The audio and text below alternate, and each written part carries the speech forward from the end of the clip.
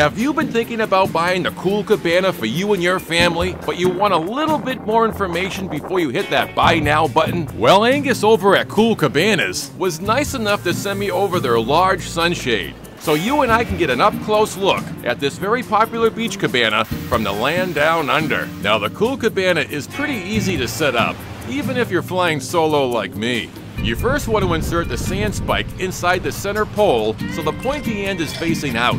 You then want to hold it vertically like this and tap it down into the sand until the red line is right above the top of the beach. If you're on a beach with soft, powdery sand, you can always kick some sand up around the pole just to give it some more stability. Next, you want to place the center of the cool cabana on top of the pole. I like how the two parts just fit together perfectly without the need to be tightened with some kind of a screw or lever. Okay, now it's time to extend the arms and fill up the sand pockets. Now I can tell you from past experience, it's best to start with the windiest side first by extending one arm and filling up the sand pocket, and then moving over to the opposite corner and doing the same thing. Now the Cool Cabana doesn't come with a sand scoop, so I'm using my own here just to speed up the setup. But realistically, this Cool Cabana can be set up without a sand scoop in less than two minutes. As I'm sure you can tell from watching this video, this beach shade is pretty easy to set up. Now if you set up your cool cabana on an uneven beach, you may notice that some of the columns may seem a little loose. You can get rid of this slack by just scooping some sand from under the sand pocket until it's nice and taut.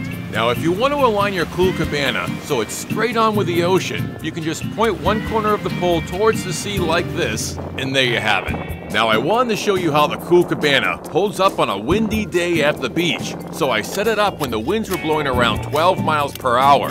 By the way, if you're finding this video helpful so far, please hit that like button. And thanks again for subscribing to my Beach Gear Guy channel. Well, I followed the instructions, and the Cool Cabana stayed up without any problems. Son of a gun.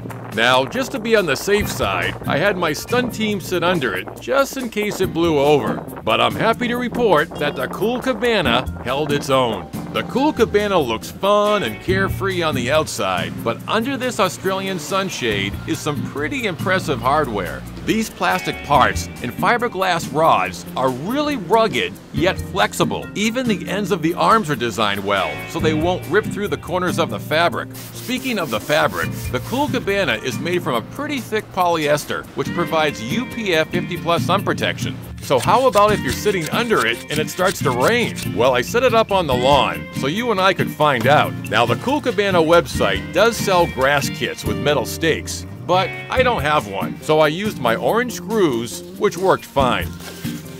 Well, from the looks of it, the Cool Cabana is fairly water resistant. I couldn't feel any moisture penetrate through the fabric at all. I thought some of the water would drip through the top of the wind vent, but there was enough of an overlap to keep most of the water out. The water just beads right up and rolls off.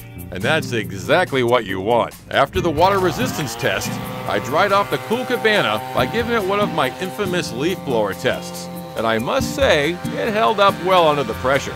Overall, it's really a well thought out sunshade for the beach. This cool cabana measures 7 feet 10 inches by 7 feet 10 inches. It's just tall enough for my folks to stand under it, but it's not tall enough for their Sasquatch beach gear guy son. But that really doesn't matter, because this is the way the Cool Cabana is meant to be enjoyed. I personally think that the Cool Cabana looks, well, cool. But there's also something classy about it. I can actually imagine a celebrity sitting under this Australian beach shade with me. Someone like Margot Robbie or Hugh Jackman. Huh, wouldn't that be something? Now, packing up the cool cabana doesn't take that long at all. Basically, all you need to do is empty out the sand pockets and fold in the arms. I've been placing the sand pockets over the top of the cool cabana as if they were little hats which makes sliding it back into the carrying bag a little bit easier. The Cool Cabana weighs less than 15 pounds and is 43 inches long when it's all packed up. Here's what it looks like in the back of my Jeep Wrangler, and here's how it fits in the trunk of a Toyota Camry. I really want to thank Cool Cabanas once again for sending me their beach shade so I could try it out and show it to you. Thanks again for hitting that like button, subscribing to my channel, as well as sharing this video with all of your beach buddies. And I hope you take it easy at the beach.